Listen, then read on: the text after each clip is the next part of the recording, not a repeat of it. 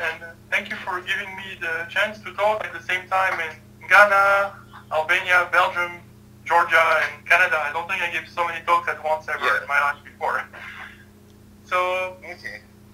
today I would like to talk about uh, some research I'm doing in algebraic geometry, which is related to physics actually, and I will talk about what I call skeletons of K3 surfaces. So the motivation for this talk actually comes from physics. Okay. So when people study physics, they realize that the four forces that we encounter in nature, electroweak, electrostrong, gravitational, and electromagnetic, where instead of having particles which are just points, you know, imagine the basic components of nature to be little strings. So objects are not anymore one-dimensional, they are uh, zero-dimensional, they are not one-dimensional. They're like little ropes in the world that oscillate. And different modes of oscillation corresponds to different particles. A bit like a violin. If you play a violin and you hit the strings, depending on the tension and the proper modes, you have different notes. So this is how strings get differentiated into different particles. So this is the first very big conceptual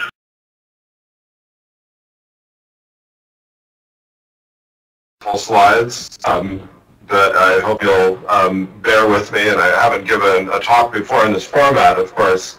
So, um, you know, if uh, I, I hope because I can't uh, see any of you guys and you can't see me, I hope that I will be um, interrupted, you know, you know, as, as much as necessary to um, so that I, I know that I'm connecting to people and that you guys are understanding um, what I'm saying. So whatever feedback I get, we much appreciated.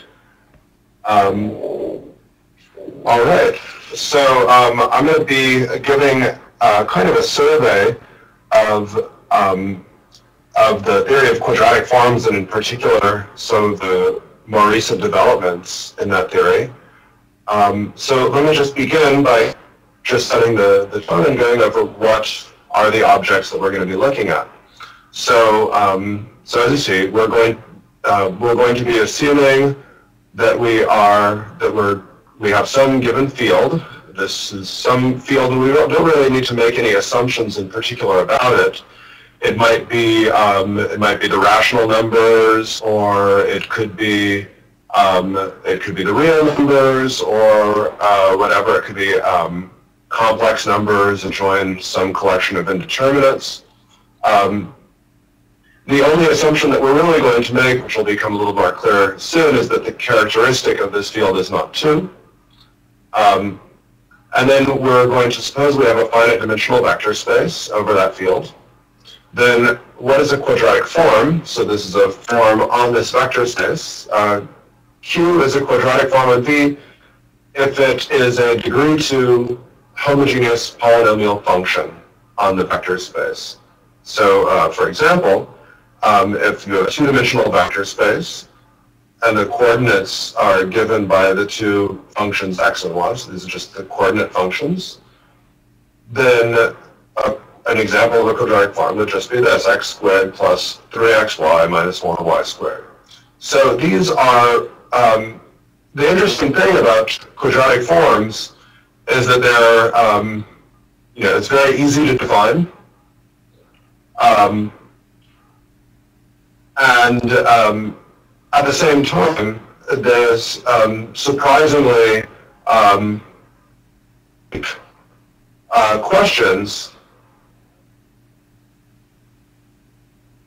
that come up about these kind of very um, kind of somewhat naive uh, kind of structures uh, that might seem to be, you know, simple structures at first. So just um, to just illustrate this point a little bit, um, you know, some uh, kind of cla more classical um, examples of um, interesting statements about quadratic forms is, well, for example, um, if you look at just uh, form x1 squared, why don't I just make this, uh, forget about that one, x squared plus y squared plus z squared plus w squared,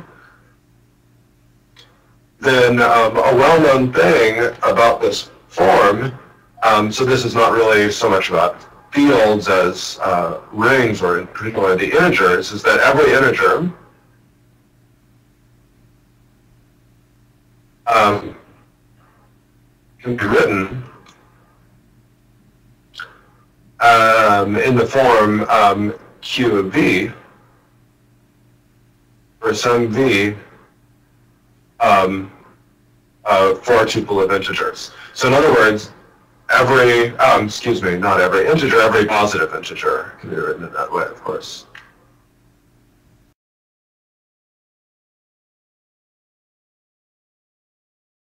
Begin with my scientific method. These are few words I would like to start with. In a completely rational society, the best of us would be teachers and the rest of us would have to settle for something less because passing civilization along from one generation to the next ought to be the highest honor and the highest responsibility anyone could have by famous industrialist Lee Iacocca. Okay, so here's the outline of my presentation or a lecture, whatever you feel like. First, give you the motivation why there is a need for finite element method. So I'm presuming that at least you have been working in find all the things, all the equations, all the uh, matrix terms, the right hand side vectors so that you can see yourself how it is working. And then finally I will be presenting some numerical results. I will be showing you from my desktop here, from my laptop, some MATLAB functions basically and I will be showing you some solutions. Watch it basically the graphs being plotted, errors being computed. And finally some concluding remarks. So it is going a little, that's fine. Okay, so here are some references. I think I need to take it this, that's better. Some of the references on finite element methods, there are numerous excellent books, not just one or two. So I have just listed here few of them, very few of them which I have gone through myself or which I find really very easy or uh, best suitable for this kind of audiences. And they are in alphabetical order, not in the order of they appeared. Okay, there is one typo here. So the first book is by Professor Dietrich Braess from Germany. So finite elements theory, fast solvers, applications in elasticity theory. Cambridge 2007. Susanne Brenner and L.R. Ludwig Scott, The Mathematical Theory of Finite Element Methods. They both are very good books on theory and with a gentle introduction to these finite elements. P.G. Ciarlet's book, this is SIAM 2009. It's not 2009, I'm sorry, it is 2002 and the first version was published in 78. This is considered by most exp experts as the classical book on the finite element method for elliptic problems. Then those who are interested in uh, interested in say like implementing the FEM, finding and implementing the FEM book, the finite element method by Bach, from published from SIAM in 2006. Then from one of the really the father figure, fatherly figures of finite element method, Barna Szabo and Ivo Babuška. So Babuška, Professor Babuška was among the pioneers who started working on very early on this finite element theory, 70s, early 70s, they have published their books, their papers. This book is also, I think, some mistake here. I mean, maybe I, when I was compiling, I made mistake. It is 91. The book is from 91. And this Zienkiewicz, Taylor and Zhu book, The Finite Element Method, Its Basis and Fundamentals, by published by Elsevier in 2005. So my apologies for these two mistakes here typos. Uh, the Sabon Babuška book is published from 91 and uh, book is from 2002. So I'll correct this and finally I'll give this to John and Neeraj. Okay, so let's start with our first point. Why finite element method? So consider the Poisson equation in a bounded domain, omega, which is a subset in d-dimensional domain. So dimension could be one dimension, two dimension, or three dimensions. So we start with very simple model problem so that I can present the ideas in a very neat and clear way. Otherwise, you will be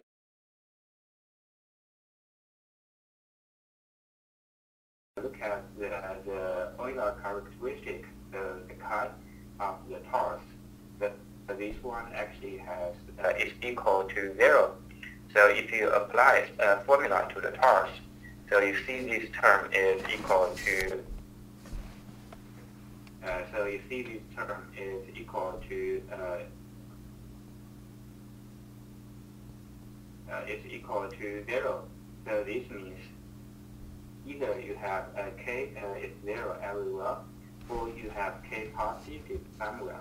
So that means you cannot uh, have conflict on the. Then uh, the Gauss curvature is positive everywhere.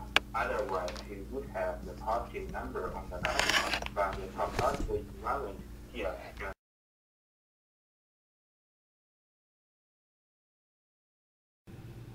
So hello, uh, my name is Castillo. I'm from the University of Maryland here in College Park.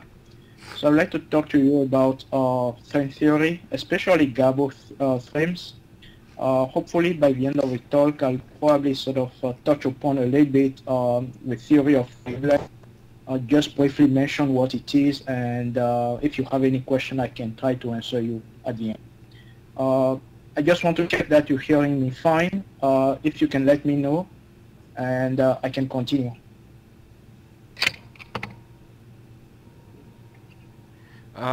Can you hear me? Yeah. Good.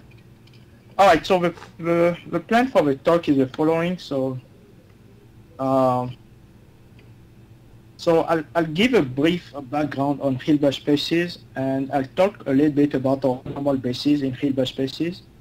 Uh, then I'll try to motivate uh, the introduction of Gabor system um, by something called time frequency analysis. Uh, then I'll sort of uh, get to the core part of the talk, which is uh, to talk about what's known today as Gabor system, give a definition, um, talk about a little bit about some of the problems that you encounter when you work with this subject, and uh, how you can sort of uh, resolve this problem by relaxing some sort of condition about uh, your system. And then, then I'll give you sort of a flavor of what Gabor is sort of useful and uh, I'll try to finish the talk with uh, a different perspective of, Gab, of, of Gabor analysis, and uh, that will probably lead to motivating the definition of wavelet. All right, so this is essentially the, a, a small review of uh, Hilbert space. So throughout the talk, I sort of uh, work on the separable Hilbert space, and I just want to recall that a function, uh, a countable family of function uh, of, of your system. And then if you take the closure of this set, then if you get the whole space back, and you, uh, the, your Hilbert space is separable. Uh, this is equivalent to say that uh, if a vector is such that its inner product with all the uh, element in your system is zero, then the, the vector itself must be a vector. So that's what it means for a system of uh, uh, countable many vector in a Hilbert space to be complete. Now, I call the system to be an orthonormal basis if not only it's complete, but also it satisfies this orthogonality relation. of the inner product between Fn and Fm is uh, uh, delta of Mn, which is if n is equal to m, and which is uh, zero otherwise. So one condition is just to say that the, the vector are unit norm vector, and the other condition is just to say that the vectors are orthogonal to each other. So if you have an orthonormal basis in a Hilbert space, then uh, for any function or any vector in your Hilbert space, you can write the function uh, in the following series expansion. So f is equal to uh, the sum of f inner product fn. So you can view this quantity right here as somehow like the coefficient f when you decompose f into this orthonormal basis. So you decompose f into each of these direction, and then you just sort of reconstruct with uh, the given direction. So not only you have that, but uh, the norm of your function is exactly equal to the norm or the L2 norm of a sequence of coefficient. So this is a very, very important uh, equality uh, uh, because it sort of relates like potentially a function that sort of define uh, to be like um, a continuous function. What I meant by that is that it's a function that's sort of defined on the on the real line. It completely characterizes the function in terms of a discrete set, where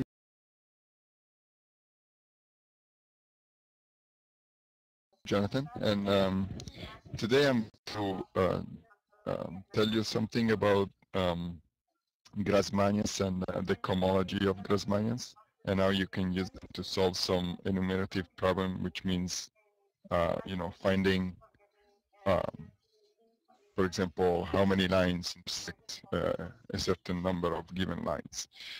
And um, I'm going to be, um, I'm not going to give any details, uh, but I hope that uh, I can convey general idea and um, and maybe spark some interest so that then you can go and look more deeply about the things that I'm talking about. Yeah.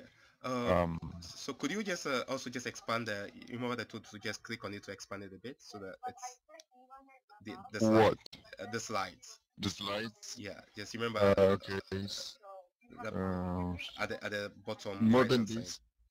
Yeah. No, no, no. Yes. No, no, that's, that's, uh, to, I mean, the other way.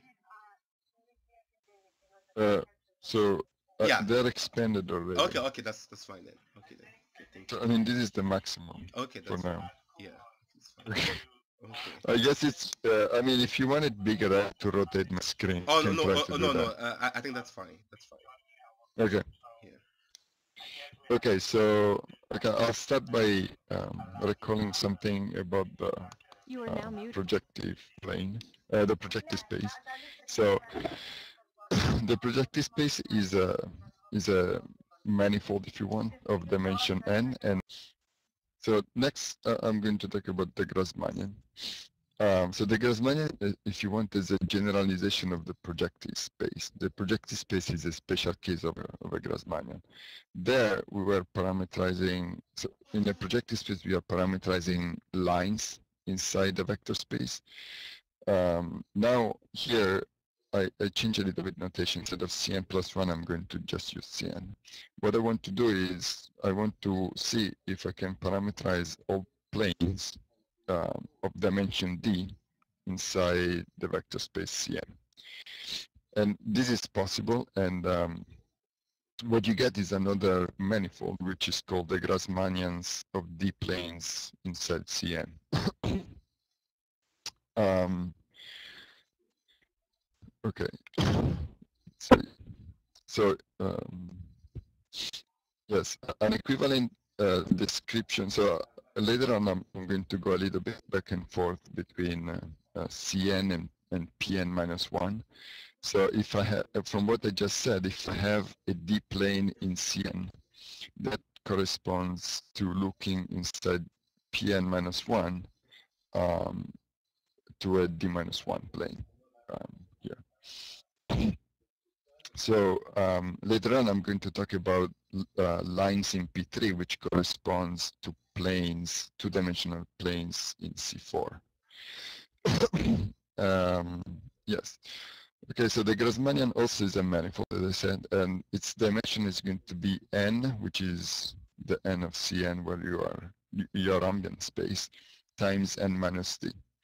And um, uh, this can be uh, seen in a similar way. Um, uh, so it can be seen the following way, which is quite similar to what we saw for uh, PN, where essentially we took Cn modulo C star.